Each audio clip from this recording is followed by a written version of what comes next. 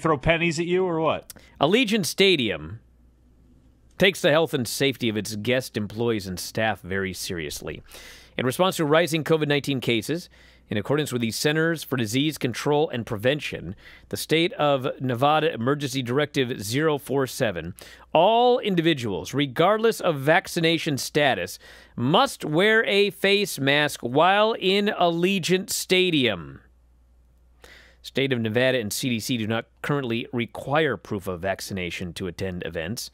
Allegiant Stadium's, uh, Stadium's COVID 19 protocols are subject to change, et cetera, et cetera. The point of this is that everybody entering Allegiant Stadium for SummerSlam must be wearing a mask.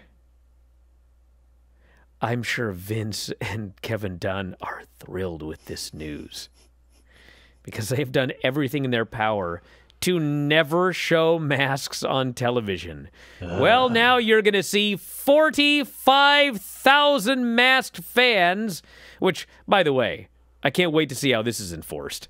But anyway, uh, in can theory, we, can we can we crowd sweeten their faces? In theory, 45,000 people will be masked coming up at SummerSlam. Wow, so so Ruby Riott really is Ruby Soho, like the uh, the Rancid song. So I wonder if TK is going to dip in his pocket if she shows up in AEW. Do they do they go full Rancid? Do we see? What in the world does this have to do with Allegiant Stadium and SummerSlam?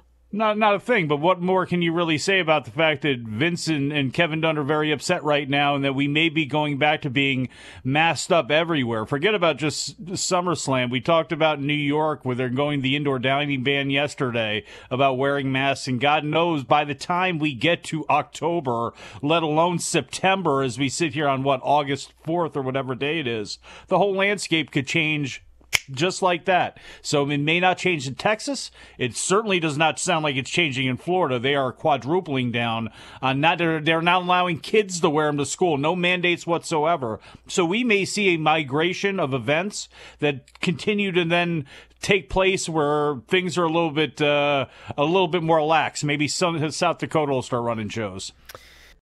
If you enjoy these videos for just $7.99 per month, you can enjoy full length editions of The Bryan and Vinny Show, Wrestling Observer Live, Figure 4 Daily with Tom Lawler and Lance Storm, plus hundreds of archived shows, all in beautiful HD. Don't miss out. Join us today.